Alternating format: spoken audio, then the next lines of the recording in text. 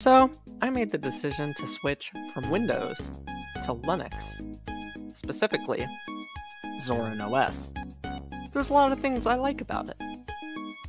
And there's a lot of things I don't like about it. I'll, I'll get to that here in a second. I didn't get any actual video of my experience with Zorin, so you're just gonna have to be looking at my pretty face. Installation was a huge pain for me, but I think that was primarily due to plain stupidity. At first I used what Zorin recommended, which was Balena Etcher, but I found that my laptop, which is a Predator, that came out wrong, wasn't accepting any USBs that Balena Etcher was putting out. No matter what settings I changed or any tutorials I looked up, it just wasn't working. Eventually I looked into alternatives and tried Rufus, and it worked first try, so I don't know what happened there.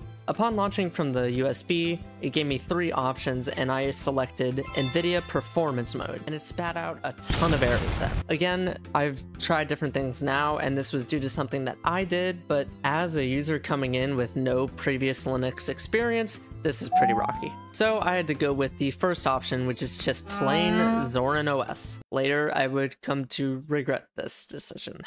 and whenever I installed Zorin, they give you the option to dual boot Windows and Zorin, and dual booting wasn't working for me.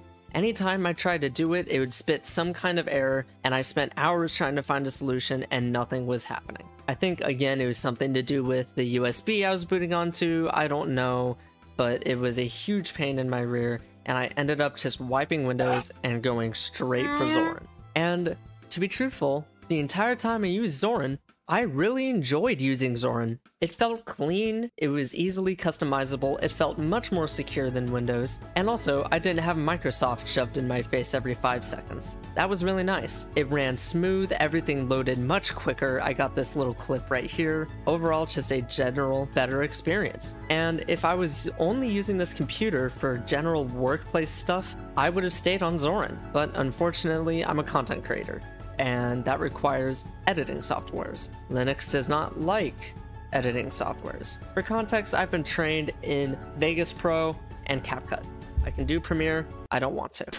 CapCut would not work on Zorin no matter how hard I tried. I tried using all kinds of different solutions to get CapCut installed. I even went to the forum to ask for solutions, and they basically told me you're SOL, unless you want to put another two days of effort in, and I didn't want to do that. So I had to grit my teeth and go to DaVinci mm. Resolve. I've had a little bit of experience with DaVinci Resolve, but it's just not my cup of tea. I know some people like it, including these people I'm listening here. I can't remember anybody except for Otterly for some reason, and cats, but it just wasn't for me. But I had to learn because otherwise, how am I going to make videos?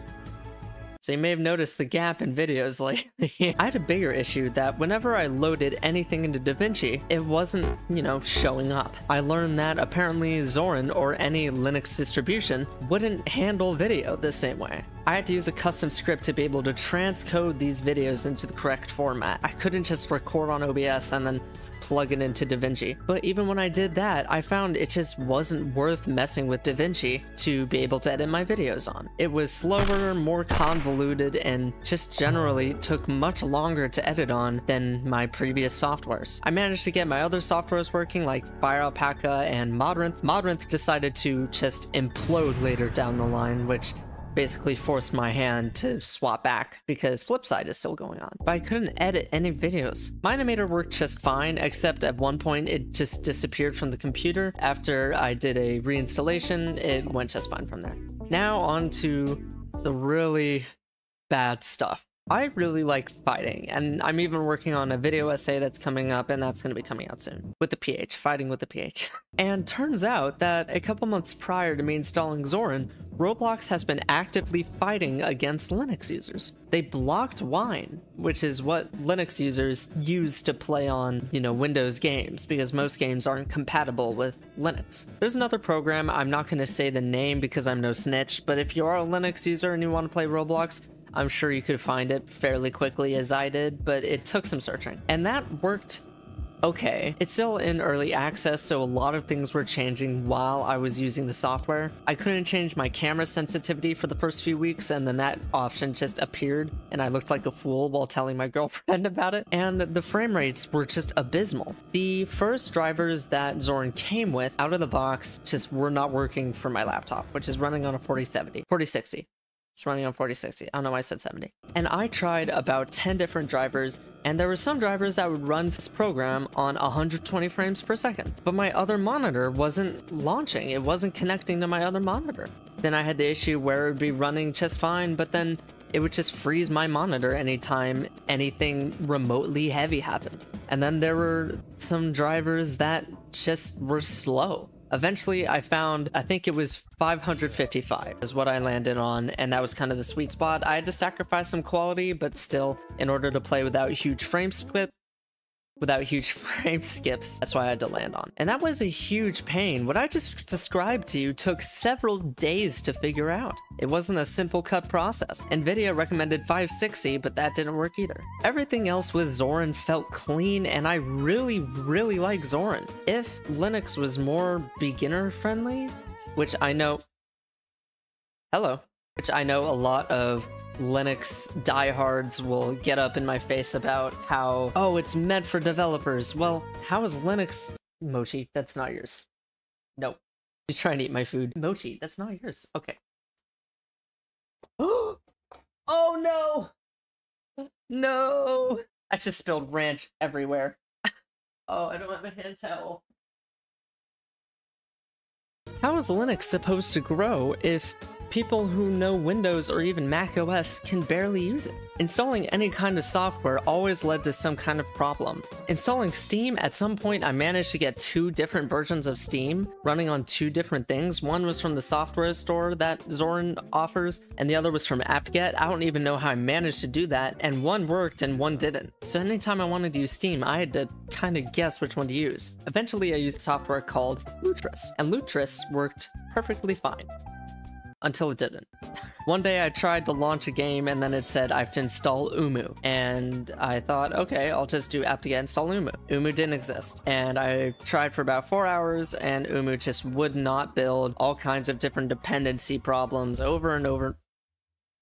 Over and over again, just some kind of problem kept arising. And eventually it just kept giving me errors. And no matter how hard I tried, I could not get it to work. Eventually, I had to come to grips with that if I want to continue editing and doing graphic design, I just can't stick with Zorin. It's just not really oriented for people like me. So I decided I need to swap back to Windows Pronto. Little did I know I was signing up for a four day limbo of hell to be able to swap back to Windows. It's difficult to describe how painful this was. I'll go ahead and show the forum right now, but I had to open a help forum. I tried multiple different installers. I tried multiple different ways of writing to the bootable USB. I tried WoeUSB. I tried Rufus on Wine. I tried Etcher, which eventually worked, but still had problems, and it was just such a pain. Describe to you the final solution First, I had to create a bootable drive to be able to launch Zorin on the USB. So then I could separate the partition and unmount it and then format it to a format that Windows liked. And still, Windows wasn't recognizing it. I talked to a good friend of mine, Dungeon Robot, and he was a huge help, specifically his friend who somehow just knew the solution. But after about four days, I couldn't get this to work. And I was just about to give up and say, crap, I'm gonna have to either turn in my laptop with a warranty or I'm gonna be doomed to Zorin Forever.